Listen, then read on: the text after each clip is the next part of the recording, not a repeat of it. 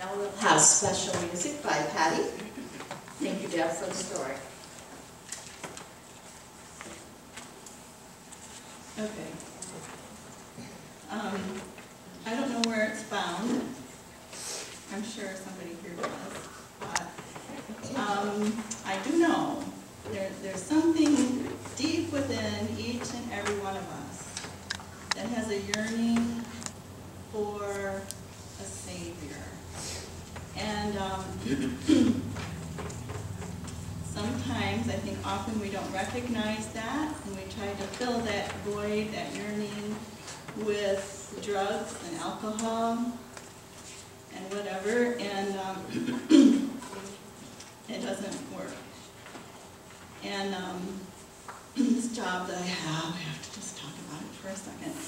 Um, Two days a week, I'm working at the um, crisis unit, um, mental health crisis unit. And it just breaks my heart, and I have, I have to just deal with that. But there's so many people who are hurting, and I guess, you know, what I was gonna say is, we as Seventh-day Adventists, we don't know a lot about drug and alcohol abuse. I was never really exposed to that as a child. And so a good Seventh-day Adventist wouldn't really know about drug and alcohol abuse. But then a good Seventh-day Adventist would be reaching out to those who are afflicted by that.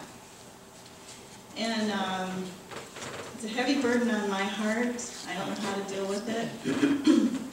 But let's raise our candles and um, reach out when we can in our world, wherever we are. You know, we're in, a- every one of us is in a different world every day. In whatever world you're in, that's your mission field. Okay? All right. Go light your world.